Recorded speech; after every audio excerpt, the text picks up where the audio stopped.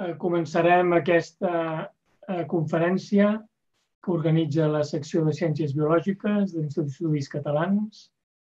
Avui eh, tenim eh, Lluís Ribes de Pouplana, de l'Institut de Recerca Biomèdica, que ens parlarà del codi genètic, evolució, funcions i salut, i serà presentat per Jaume Reventós. Endavant, Jaume.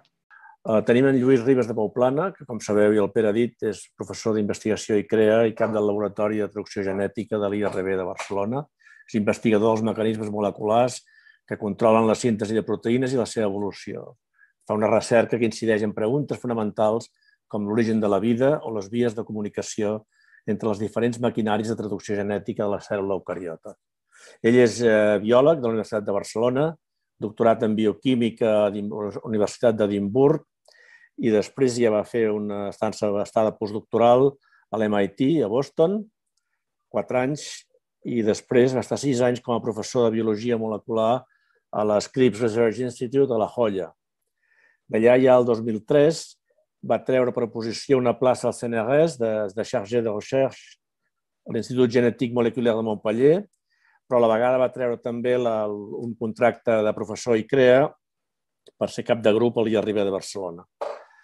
Doncs, acadèmicament, doncs, dir que té un, un currículum de, de publicacions eh, espectacular, eh, moltíssimes publicacions, quasi 200, però amb revistes de primer nivell, entre elles, sobretot el CEL, el Nature, el PNIS, moltes i a tots aquests articles fets des de Barcelona, la majoria estan ell de sènior, portant, per tant, un laboratori que està, que està funcionant molt, molt bé. No? Té distincions, entre d'altres, el Premi Príncep d'Astúries de joves investigadors, beques de la Generalitat, de la Caixa, del, del British Council, i també té una, una vessant d'emprenedor que va crear una empresa, Òmnia Molecular, que durant, es va dedicar bàsicament a, a eines de RNA basades en RNA, que és el que ens explicarà una mica avui, i que ha estat funcionant bastant temps amb d'èxit i, bueno, com moltes empreses, doncs, ha deixat de tenir les seves activitats eh, darrerament. No?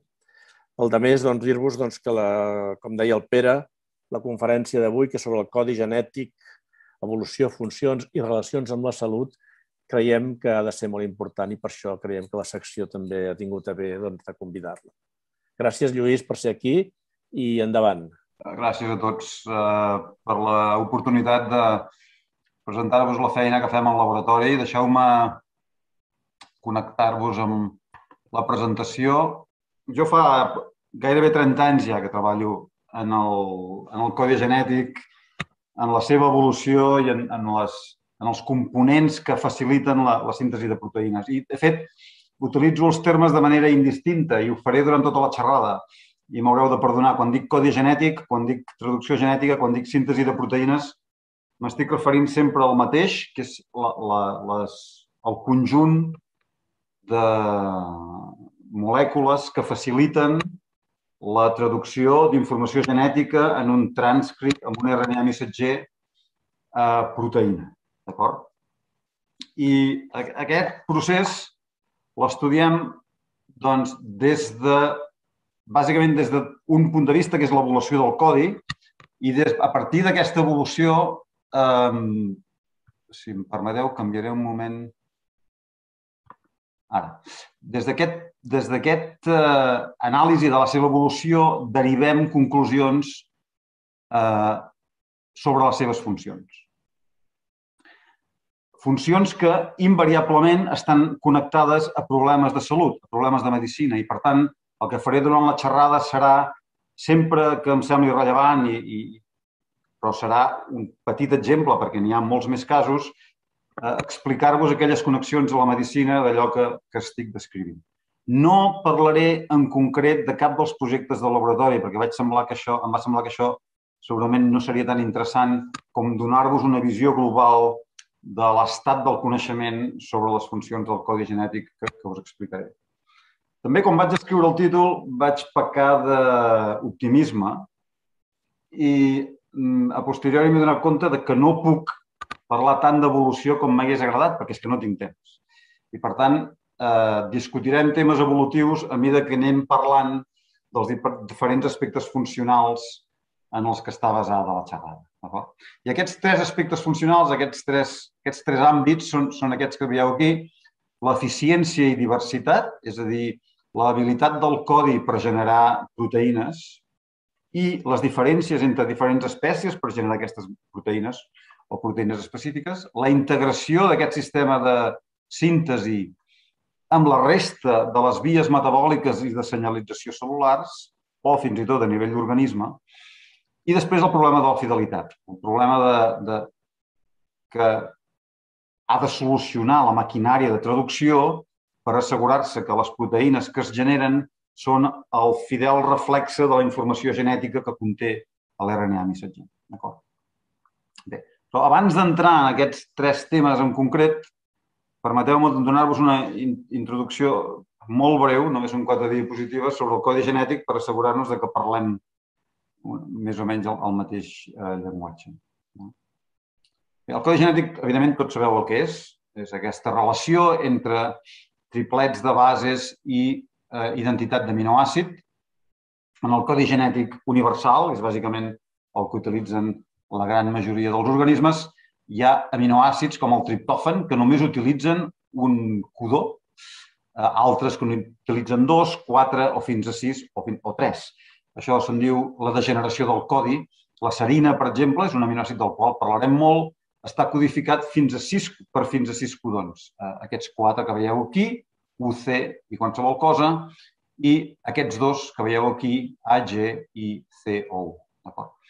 La molècula central de la síntesi de proteïnes és aquesta molècula que veieu aquí, des de la nostra perspectiva almenys, que és l'RNA de transferència.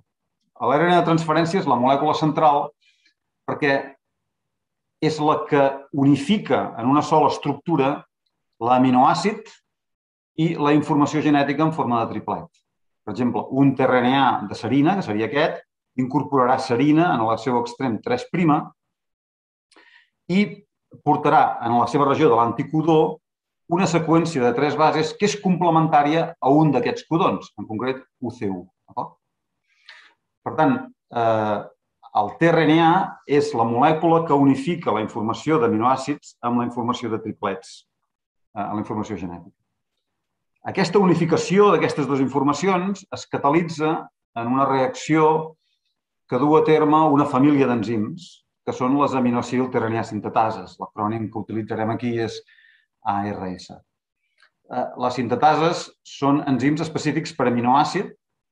Per exemple, la serina terranià sintetasa reconeixeria la serina i després tots els terraniars que són eh, portadors d'un anticodó de serina. I aquestes enzimes, aquests enzims són que després els que unific, els que a través d'un enllaç èster eh, connectaran l'aminoàcid amb l'extrem 3' del terrenià. Aquí val la pena estressar, incidir en el, en el punt de que si la sintetasa en concret, la serina en aquest cas, eh, genera un error en aquest punt de la traducció, és a dir, si incorporés, per exemple, un aminoàcid equivocat, no hi ha cap mecanisme posterior, sobretot en els organismes eucariotes, per corregir aquest problema. I, per tant, la incorporació d'un aminoàcid eh, equivocat, l'alanina, per exemple, en aquest RNA serina, acabaria causant una mutació en la proteïna on el codó serina seria substituït per una alanina. D'acord? Um, això serà important quan parlem de fidelitat eh, al, al final.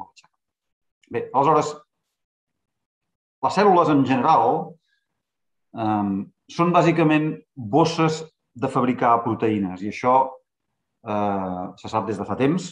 Hi ha una correlació linear directa entre la velocitat de duplicació d'una cèl·lula i la quantitat de ribosomes actius que conté. És a dir, que el creixement celular és una funció directa de la intensitat de la traducció. I, a més, la traducció de proteïnes és, de lluny, el principal consumidor d'ATP celular. En una cèl·lula de rata, per exemple, eh, si un suma l'ATP consumit per la traducció amb l'ATP consumit per la transcripció, això em sembla que arriba al 59% de l'ATP total que produeix aquesta cèl·lula. És a dir, eh, les cèl·lules són bàsicament maquinàries de producció de proteïna i la seva principal funció és, és aquesta. Això té un corolari clar al ser la principal funció biològica de la cèl·lula, eh, la, funció, la traducció genètica ha de poder controlar gran part del sistema metabòlic i de, i de senyalització de la cèl·lula i a la vegada eh, la cèl·lula ha de ser capaç, a través de totes les seves vies de senyalització i processos metabòlics importants, de controlar l'activitat de la traducció proteínica. I això ho veurem també d'aquí uns minuts. Per últim, dintre d'aquesta introducció, només eh, donar un exemple d'aquest nivell de connexió entre les components de la traducció celular i la biologia celular. Aquesta eh, imatge, de fet, ja és bastant vella, del 2013, ja se n'han descobert moltes més, però el que il·lustra són les connexions entre les tRNA sintetases específiques de cada aminoàcid en una cèl·lula humana i altres processos cel·lulars diferents eh, de la fisiologia humana, des del metabolisme fins a la inflamació. Com podeu veure, el nivell de connexions és altíssim i il·lustra la complexitat de la integració entre el mecanisme de síntesi de proteïnes i la fisiologia eh, de l'organisme en qüestió. Bé, amb aquesta breu introducció, deixeu-me passar a parlar del primer aspecte que us volia descriure aquest, l'eficiència i la diversitat intraspecífica. Per diversitat interespecífica em refereixo a les diferències existents entre diferents espècies i els seus mecanismes respectius de síntesi de proteïnes, que com veurem, de fet, eh, és una característica de la vida que és explotada eh, intensament des del punt de vista farmacològic. Per eficiència, en canvi, em refereixo a la capacitat d'un organisme de produir una sèrie determinada de proteïnes en funció de la seva maquinària de traducció. Això no és trivial. No tots els organismes poden fabricar les mateixes proteïnes i això és algo diguem, que no es coneix encara molt bé, però que té exemples realment molt atractius. I un que m'agrada molt utilitzar és el que veieu aquí sota, és l'exemple de la seda. La seda, com sabeu, és una fibra proteïnica, està composada de dues proteïnes diferents, que sintetitza bàsicament en les glàndules salivals dels insectes o d'alguns insectes o de molts aràcnids. Però és una proteïna que si un intenta produir amb cèl·lules bacterianes o amb cèl·lules humanes, eh, no podrà. I no podrà perquè la composició d'aquesta proteïna és tremendament esbiaixada. De fet, la seqüència de les proteïnes de la, seda, de la seda, com veieu aquí sota, són tan uniformes i repetitives que, de fet, sembla una seqüència genètica gairebé. Eh, són llargs polímers d'alanina i glicina, amb alguns altres aminoàcids intercalats, però que requereixen d'adaptacions específiques del sistema de traducció per poder ser traduïdes.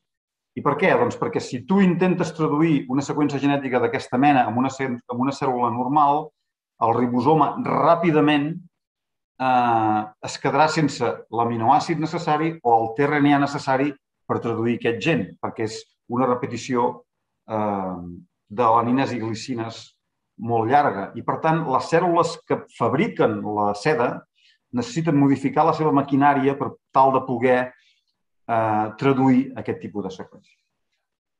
D'acord? Eh, I el que us explicaré seran alguns altres exemples de situacions en les quals eh, els humans, en concret, podem sintetitzar proteïnes que altres organismes no poden gràcies a adaptacions del nostre sistema de la traducció. Però comencem primer parlant d'aquest tema de la diversitat interespecífica. Les diferències en els mecanismes de traducció de proteïnes, de fet, són la base del desenvolupament d'antibiòtics i antiparasitaris des de fa molts anys. Aquí us els he classificat en tres grups diferents per poder il·lustrar eh, les seves diferències, però bàsicament del que estem parlant aquí són, és sempre de, de petites molècules que són capaces d'inhibir específicament la maquinària de traducció d'un patogen i no inhibir la maquinària de traducció humana. De fet, aquí la natura ens demostra una altra vegada que és molt més intel·ligent que nosaltres. Hi ha tota una sèrie de compostos que la natura específicament ha desenvolupat amb, amb aquest eh, objectiu. L'exemple paradigmàtic és la penicilina, però la penicilina no és un inhibidor de la traducció ni del tRNA. En canvi, aquesta molècula que us ensenyo aquí a l'esquerra, a l'àcid pseudomònic, és un inhibidor de l'aminosilació del tRNA isoleucina. Específicament s'uneix a la isoleucina tRNA sintetasa i bloqueja l'aminoacilació del TRNA. L'àcid pseudomònic, l'homopirocina, és un producte metabòlic d'una pseudomona que és utilitzat en, en la, com a element en la batalla competitiva entre aquests bacteris, entre aquest bacteri i les espècies amb qui competeix en el medi natural, però nosaltres l'aprofitem directament eh, en forma d'antibiòtic tòpic i és, de fet, l'antibiòtic que us donaran a la farmàcia eh, cada vegada que necessiteu tractar una infecció dermatològica senzilla. Altres antibiòtics eh, naturals, la mopirocina és molt difícil de manipular químicament, però altres, en canvi, ens proporcionen estructures sobre les quals és molt fàcil, químic, o fàcil, relativament fàcil, eh, incorporar-hi eh, variabilitat química i un d'aquests exemples, l'exemple clàssic és les, són les tetraciclines. En aquest cas, eh, el que veieu aquí és el tigacil o la tigaciclina, és l'última tetraciclina aprovada per ús en humans i aquesta també inhibeix una interacció del TRNA, en aquest cas amb la subunitat petita del ribosoma en aquesta zona aquí, d'aquesta estructura que veieu aquí. En el laboratori hem utilitzat una estratègia semblant per desenvolupar molècules antiparasitàries i de totes les que hem produït, segurament la més interessant és aquesta que veieu aquí, la BC220. És una molècula eh, antimalàrica que vam demostrar que pot eh, molt eficaçment eliminar el paràsit amb un model morí de malària i no només eliminar el paràsit, sinó que, a més, a través d'un mecanisme que encara no entenem i que estem investigant, genera eh, una resistència permanent una mena d'immunitat que protegeix els ratolins contra infeccions posteriors després del seu tractament. Um, un altre aspecte, però, de, de, perdoneu, de la diversitat entre espècies no ve tant de les diferències entre les proteïnes que s'utilitzen per la eh, traducció, sinó diferències que apareixen en les seqüències dels RNAs del, del sistema de traducció. I la, la font principal de variació en, en, aquest, en les molècules d'ARN del sistema de traducció són les modificacions químiques de les bases dels àcids nucleics. Um, això és el que se'n diria la modificació epitranscriptòmica d'aquests àcids nucleics i el tRNA és, de fet, l'àcid nucleic que incorpora una variabilitat major d'aquest tipus de modificacions. N'hi ha més de 100 diferents. Aquí en veieu una, una representació eh, i, com veieu, no totes són universals. N'hi ha algunes que són específiques d'eucariotes, algunes específiques de bactèries i algunes específiques d'arquibactèries. De fet, hi ha un número molt petit que són universals. Fins fa 15 anys aquestes modificacions despertaven molt poc interès perquè estudiar-les és tècnicament molt difícil i la seva funció no estava gaire clara. Per exemple, aquesta molècula que veieu aquí, la U-metilpseudouridina, va ser descoberta en tRNAs d'arquibactèries, està present en alguns RNAs ribosomals d'eucariotes, però fins fa 15 anys ningú sabia exactament què feia. I, per tant, no, no era una molècula particularment interessant.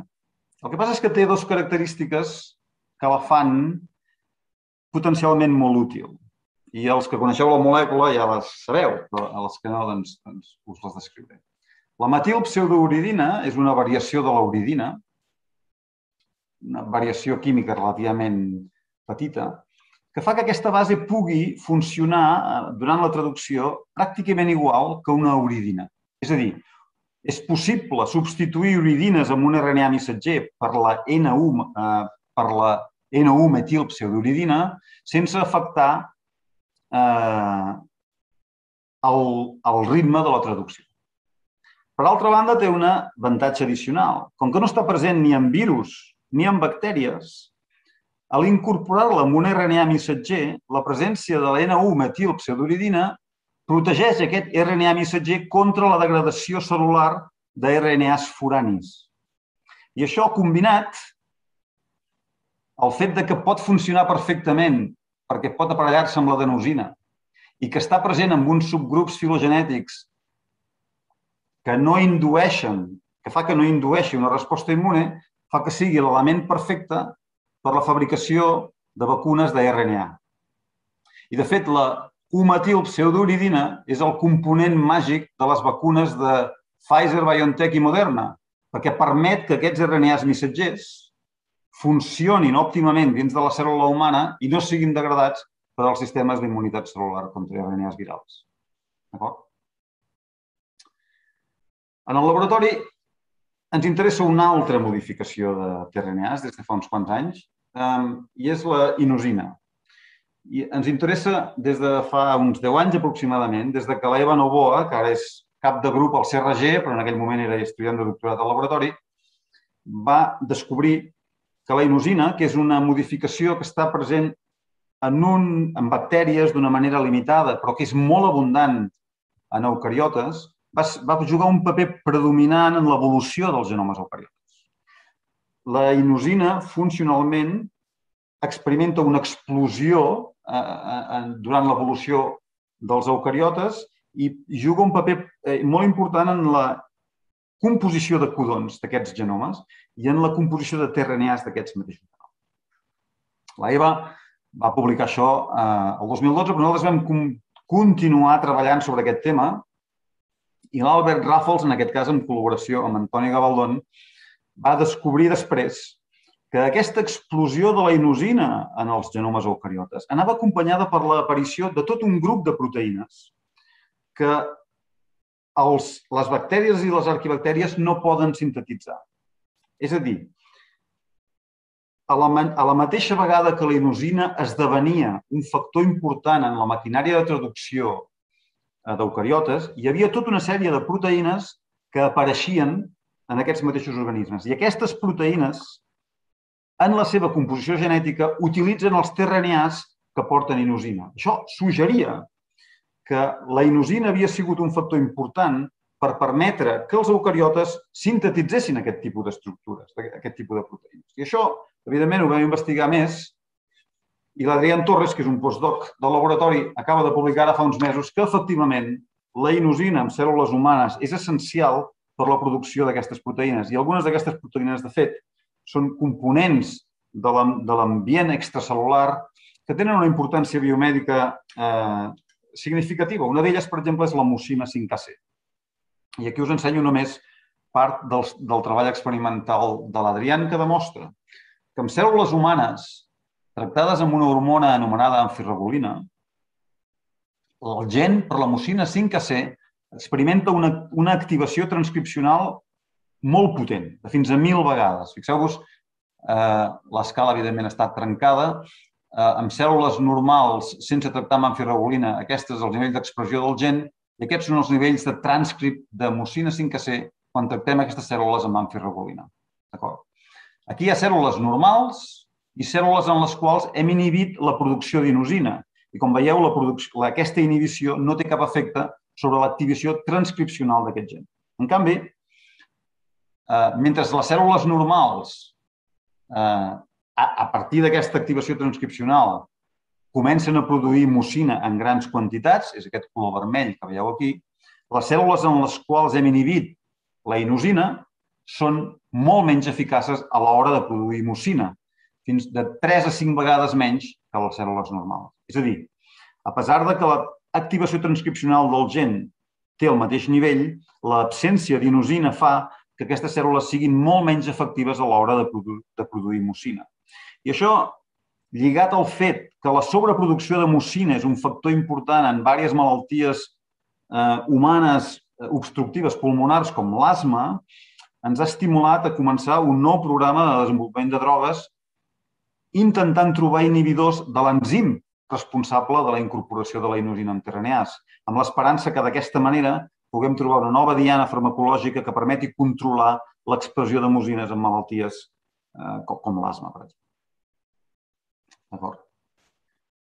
Um, I amb això m'agradaria ara deixar aquest aspecte de l'eficiència eh, en la síntesi de proteïnes i de la diferència entre diferents espècies, per començar a parlar de l'altre, del segon eh, paràmetre que us he dit que discutiríem, que és la integració fisiològica. què, què vol dir integració fisiològica? Ja, ja ho he comentat abans. Integració fisiològica vol dir que el, el sistema de traducció de proteïnes no funciona en aïllament, està íntimament connectat a totes les vies eh, metabòliques i de senyalització de la cèl·lula que el conté. I això es coneix des de fa temps perquè en bactèries eh, el sistema d'aminosilació de tRNAs és bàsic, representa el principal mecanisme utilitzat per controlar els nivells d'aminoàcids disponibles per l'organisme. En bactèries, quan hi ha una ausència d'un tRNA determinat, això evidentment provoca que aquell, els tRNAs corresponents no es puguin aminoacilar i l'accés de tRNAs no aminoacilats indueixen respostes d'estrès que per un cantó estimulen la incorporació de nous aminoàcids i per l'altre reprimeixen l'activitat de síntesi de proteïnes perquè si no hi ha aminoàcid no té cap sentit intentar produir proteïna.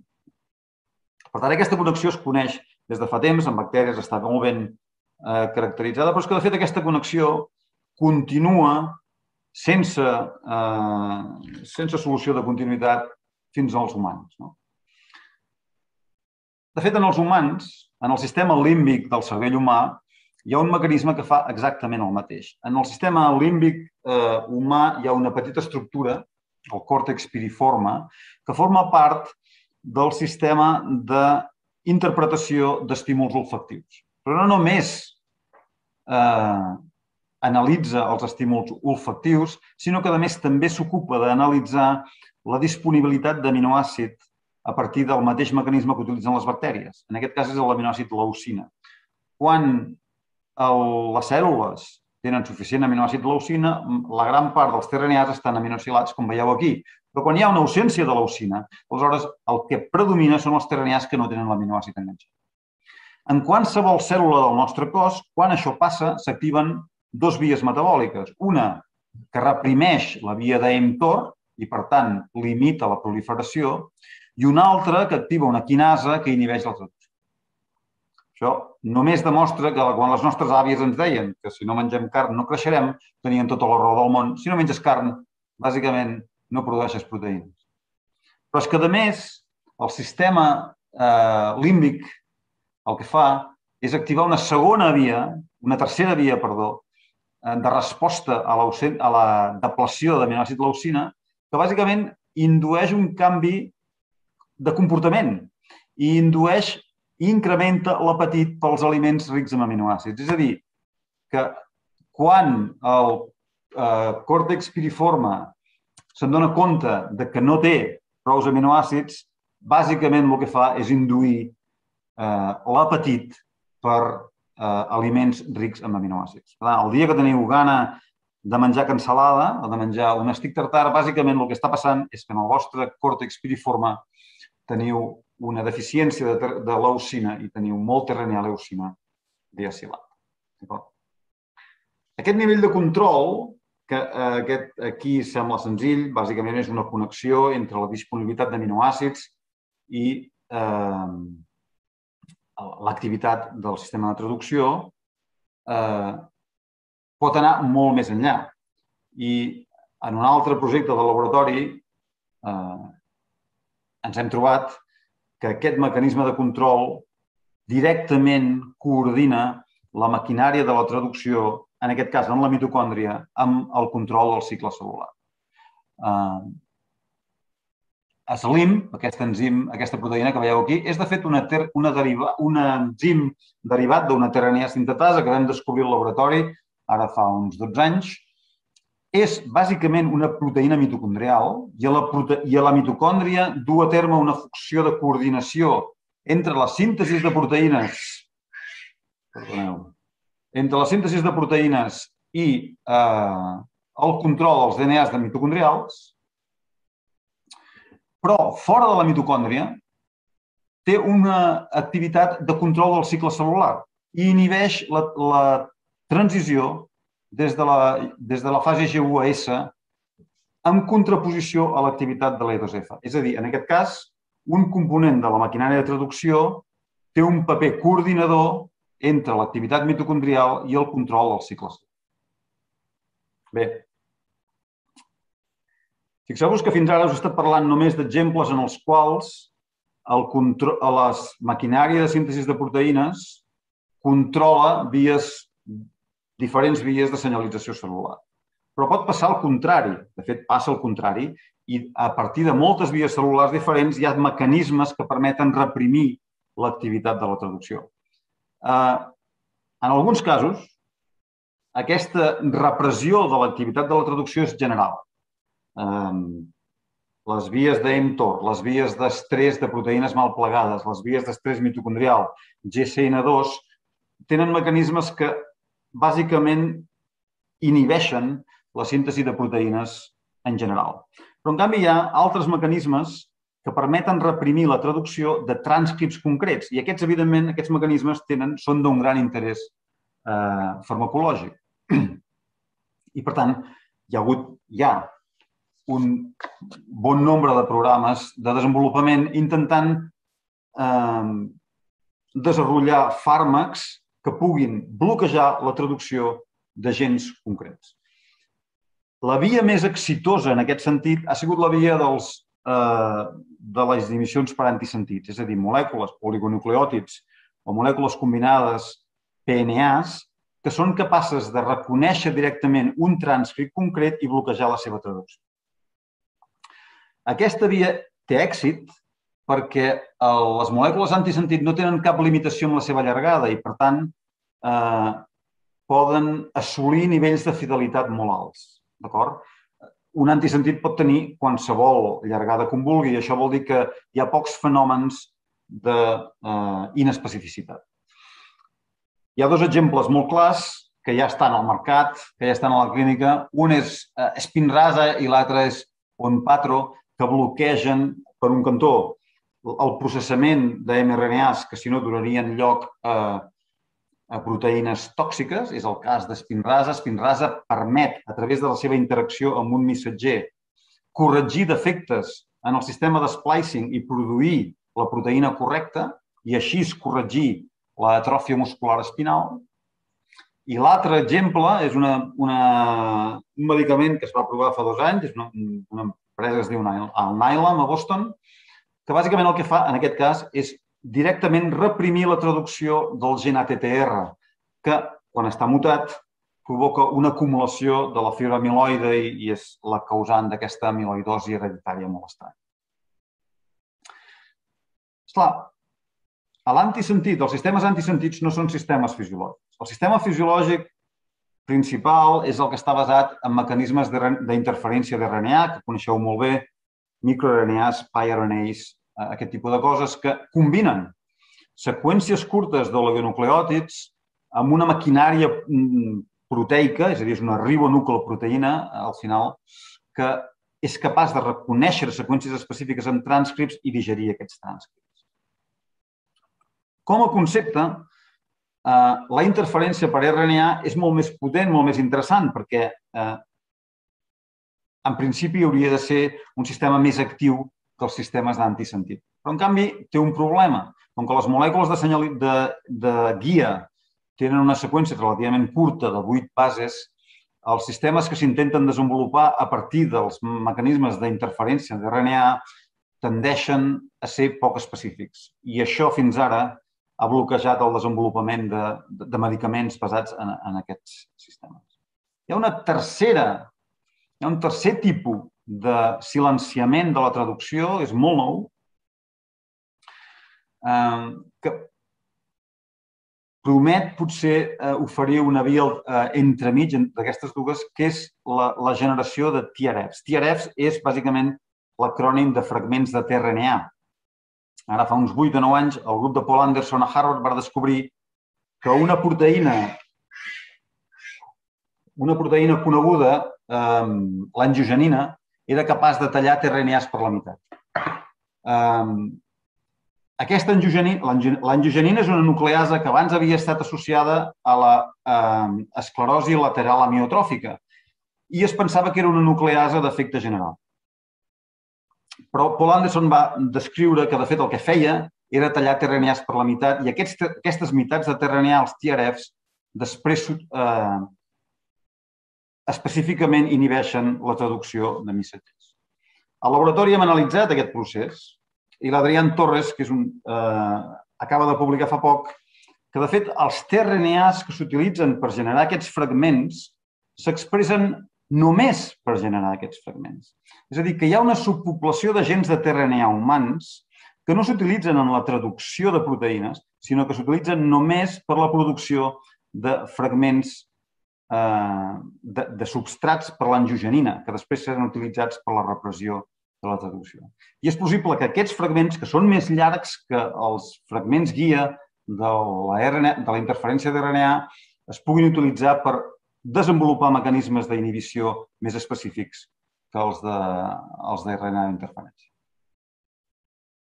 Bé, i amb això eh, torno a canviar de tema per parlar de l'aspecte final de la xerrada, que us he il·lustrat amb aquesta imatge tan acolorida perquè eh, m'agradaria aquí intentar representar el problema de l'especificitat del codi genètic, que és un problema remarcable. Eh, en qualsevol cèl·lula, de qualsevol tipus, hi ha una gran concentració d'aminoàcids de molts, eh, de molts tipus. En una cèl·lula humana hi ha més de 100 aminoàcids diferents, a pesar de que només se n'utilitzen 20 per al codi genètic. I estan en una concentració relativament alta, tots.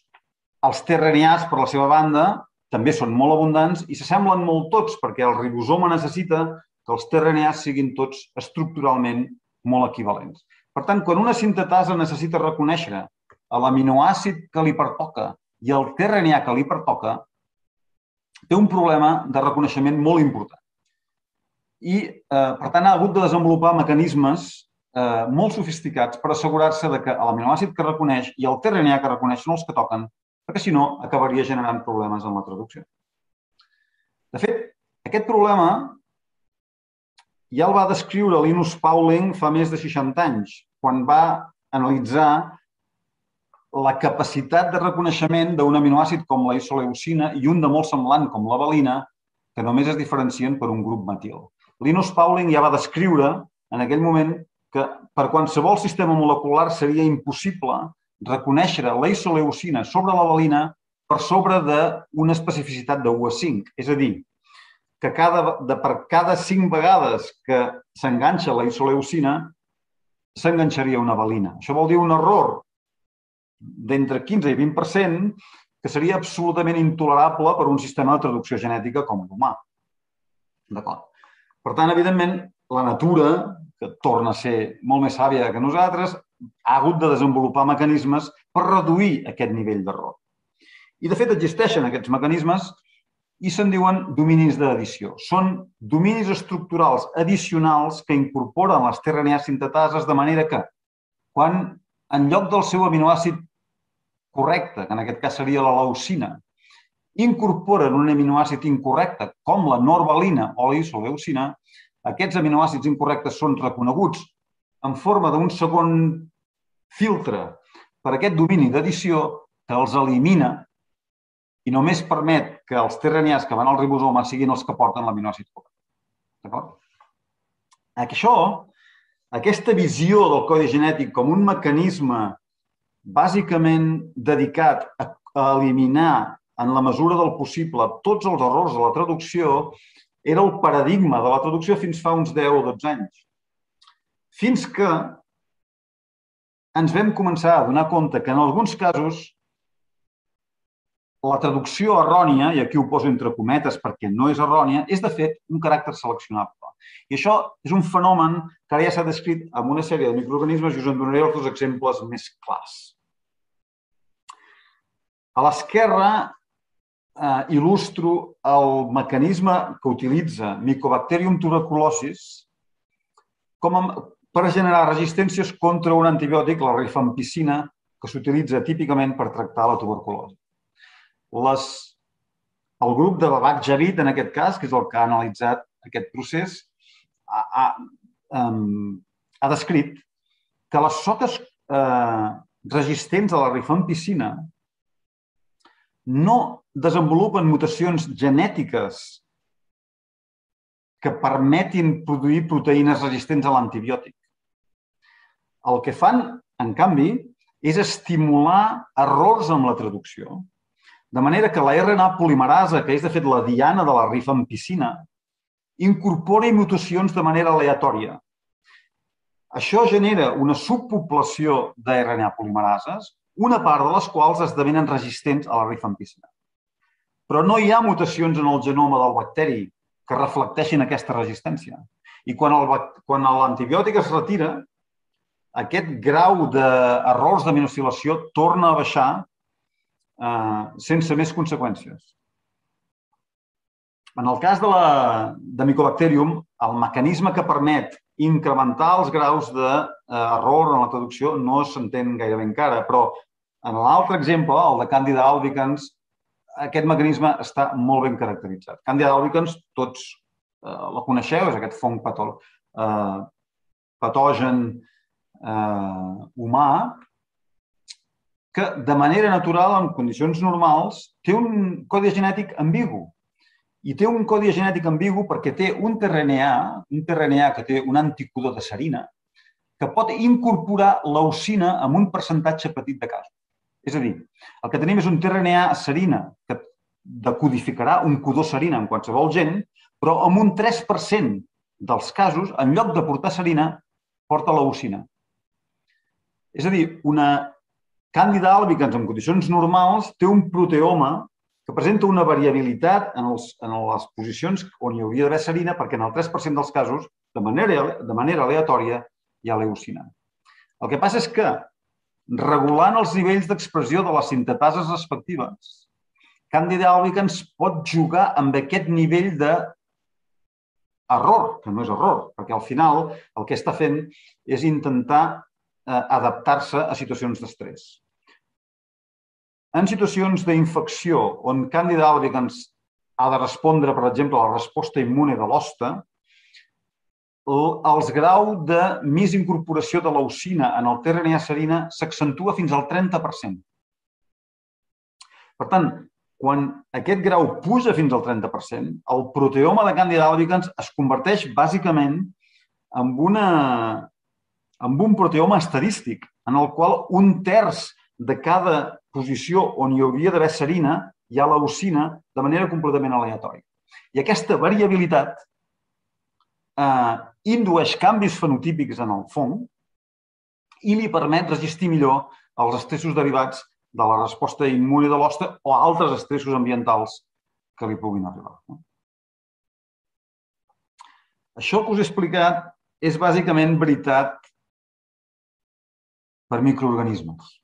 En vertebrats, mamífers, en humans, eh, sembla, en general, ja no tenim cap evidència de que hi hagi eh, fenòmens adaptatius de, trans, de traducció errònia i, eh, i, en canvi, sí que hi ha molts exemples de toxicitat causada per aminoàcids molt similars als aminoàcids que utilitzem habitualment. Um, de, dels exemples que hi ha, un que m'agrada particularment és el d'aquesta malaltia, el lítico-bòdic.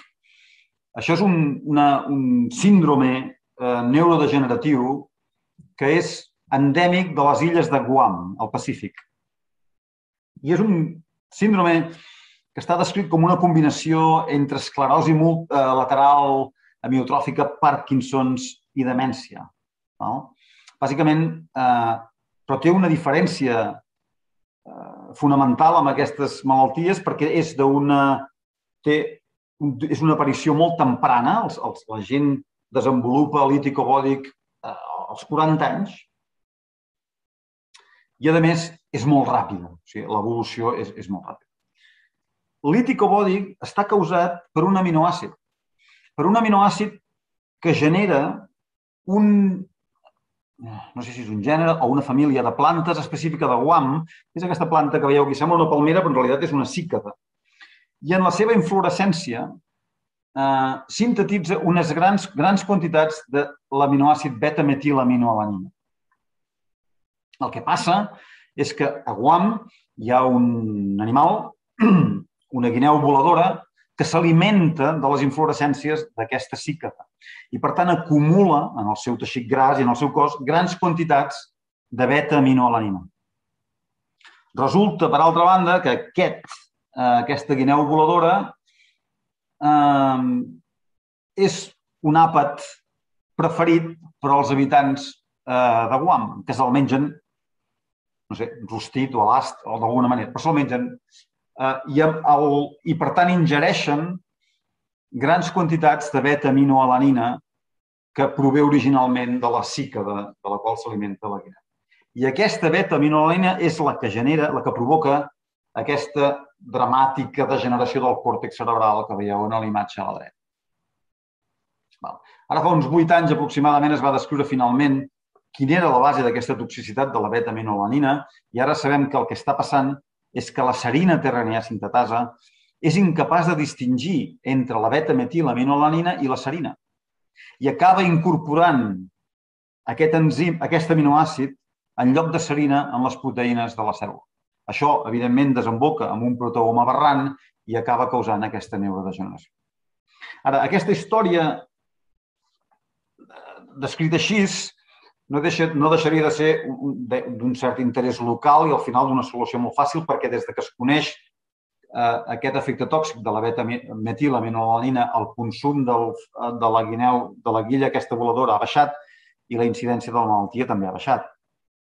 El que passa és que hi ha un cert cos de la literatura que descriu eh, la correlació entre brots de malalties eh, neurodegeneratives i la proximitat de les poblacions on passen aquests brots a zones costaneres on hi ha explosions de cianobactèries que són grans productores de beta-metilaminoalanina i que, a través de la via tròfica, la tesi seria podria haver arribat en aquestes poblacions humanes i, per tant, jugar un paper en aquests brots de neurodegeneratius.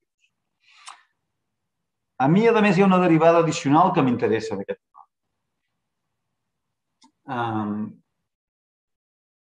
I que crec que vol dir la pena investigar, tot i que em sembla que no, no hi ha ningú que ho estigui fent.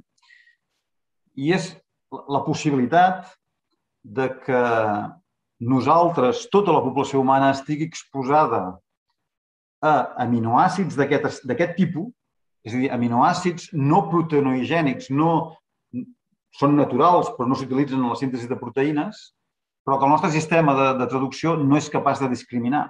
I aquests aminoàcids podrien venir del metabolisme secundari de la bioflora intestinal.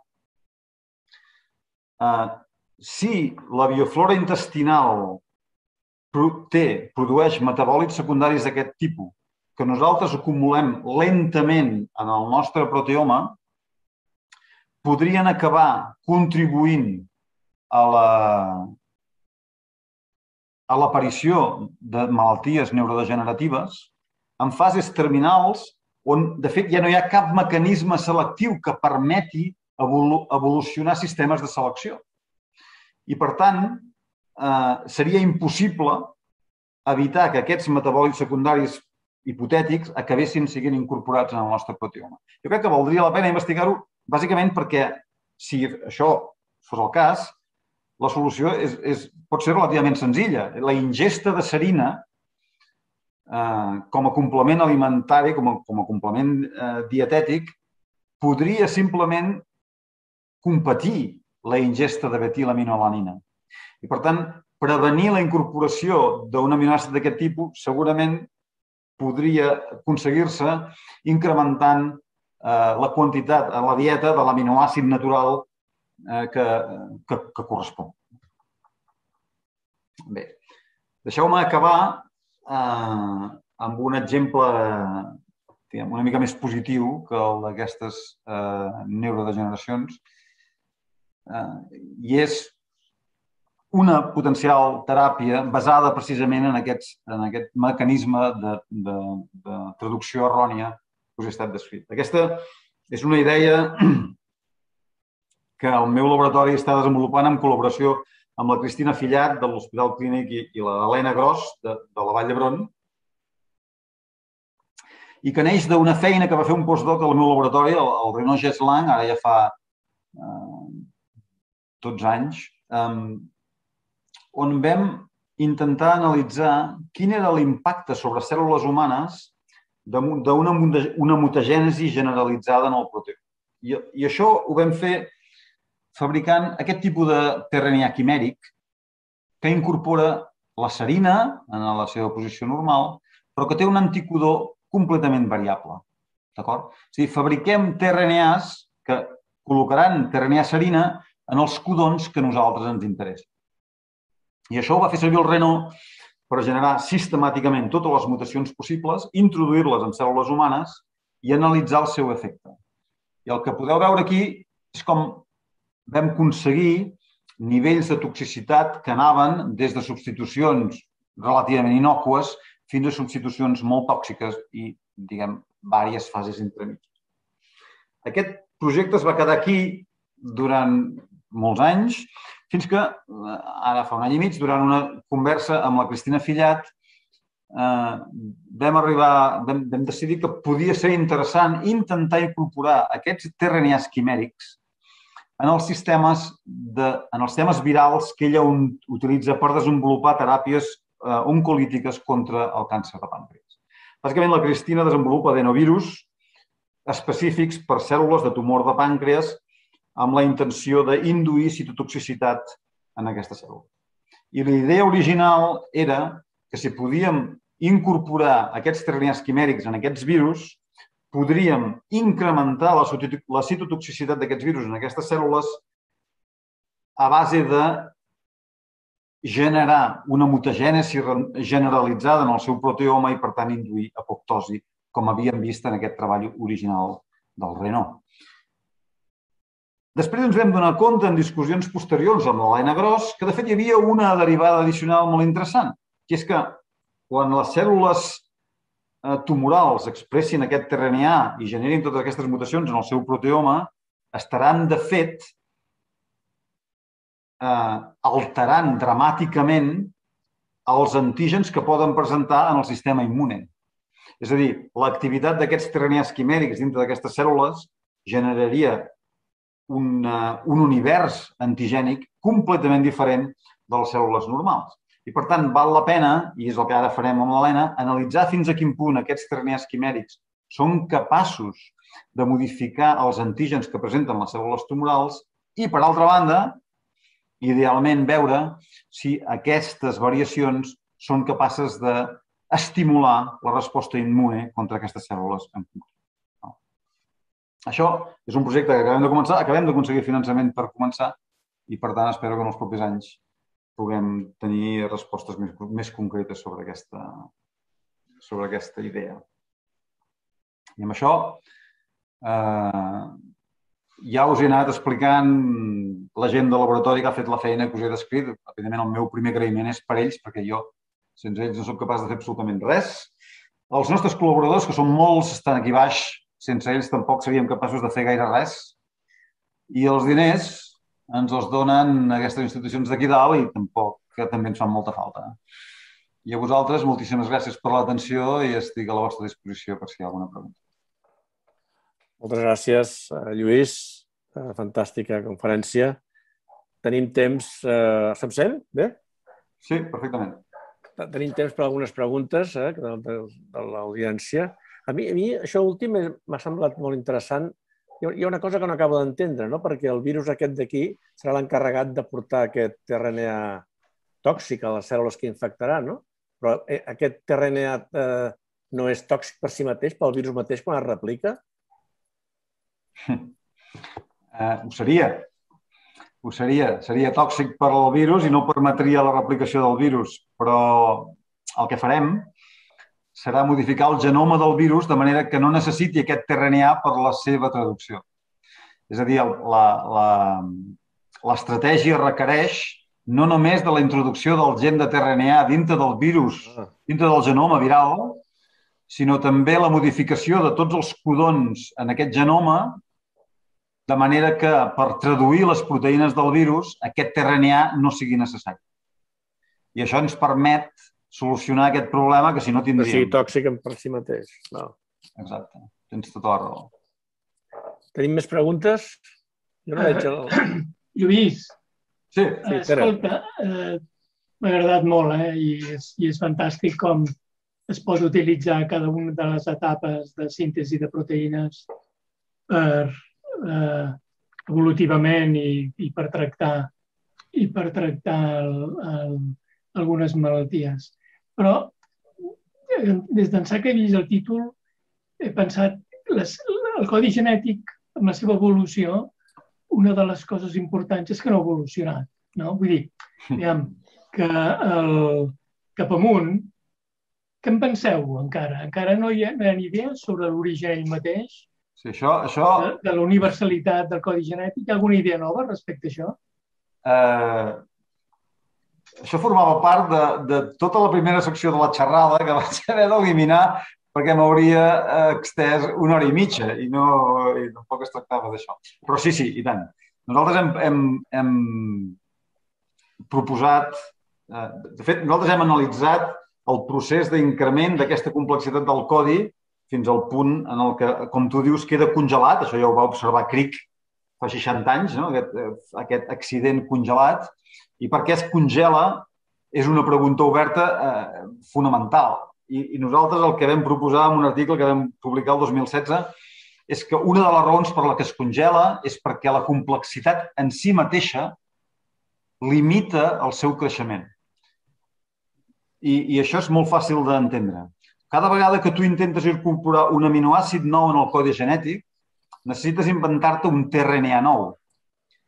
I aquest tRNA nou eh, necessita tots uns mecanismes de reconeixement diferents de tots els que ja existeixen, perquè si no acabaries caient en problemes d'especificitat.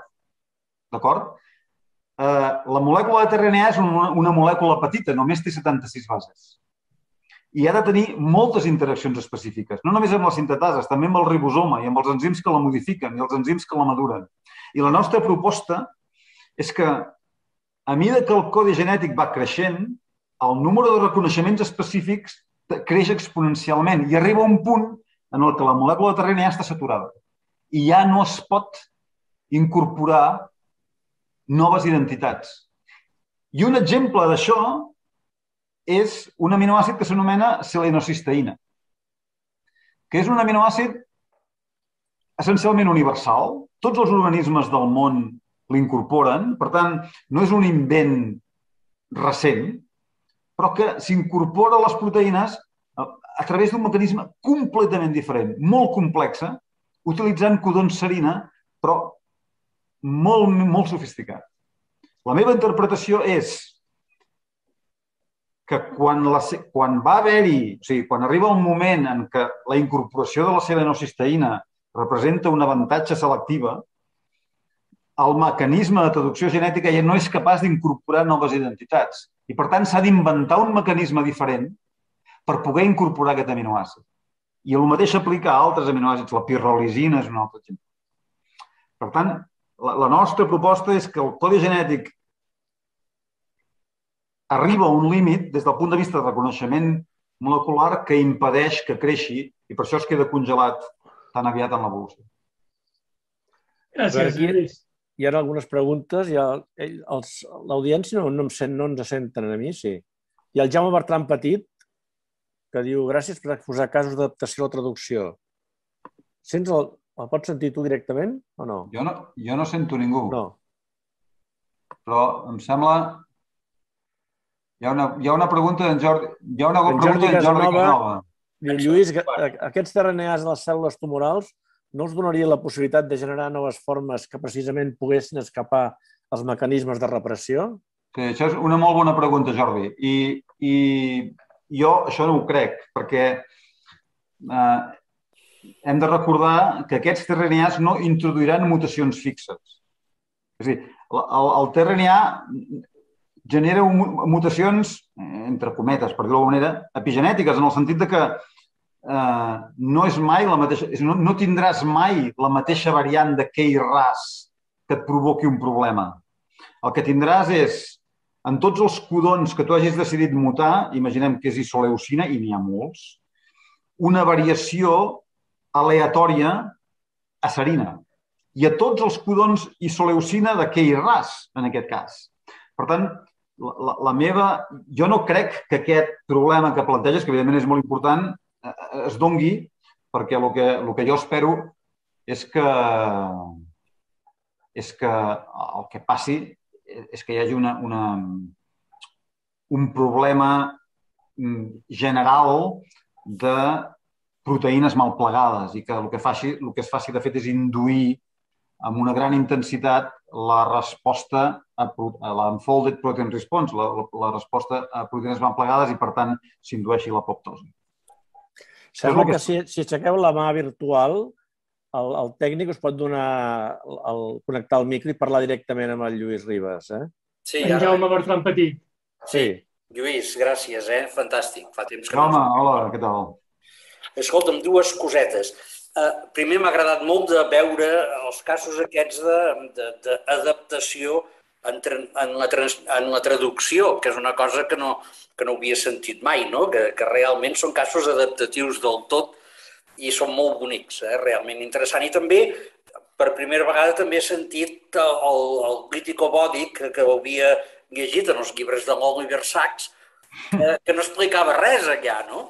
i, i que realment et quedaves a vegades de dir, hosti, no, no se sap res més, no? I realment el que ens has explicat és molt bonic. Lítico Bòdic és, una, és una història meravellosa de convergència de convergència entre diferents camps científics, perquè eh, en realitat les primeres caracteritzacions de la malaltia les van fer antropòlegs. Sí. O sigui, la, la, la malaltia la descobreixen els metges de l'exèrcit americà quan arriben a Guam al final de la Segona Guerra Mundial i la descriuen. Però després són els antropòlegs que van eh, eh, a estudiar el, la població de Guam, que si no recordo malament es diuen Camocho, o una cosa d'aquest tipus, perdoneu, segurament no estic equivocant, però són aquests els que, els que es preocupen d'intentar entendre d'on surt aquesta malaltia. I llavors aquest procés convergeix amb l'estudi de la fidelitat del codi genètic és, és, és un, realment bonic. Clar, jo que volia fer una reflexió final i és per què carai en biologia molecular fem tanta transcripció i tan poca traducció? Ah. És a dir, uh... per què eh, sabem tant de transcripció i ens pensem que la transcripció ja és tota la funció d'un genoma i en canvi ens preocupem tan poc de la traducció encara ara. En, en realitat està descrit des de fa molts anys que l'activació transcripcional explica molt malament eh, les respostes gèniques i que, de fet, si tu fas una correlació, intentes fer una correlació entre les diferències en quantitat de proteïna eh, com a resposta a l'estímul que sigui i l'activitat i l'activació transcripcional dels gens, tens una correlació molt pobra. És a dir, la, la importància de la traducció eh, se sap des de fa molt i molt temps. El que passa és que eh, són dos mons que s'han mantingut relativament separats un de l'altre i, i, efectivament, en molts casos, s'analitza l'activació transcripcional com si fos l'única cosa que compta.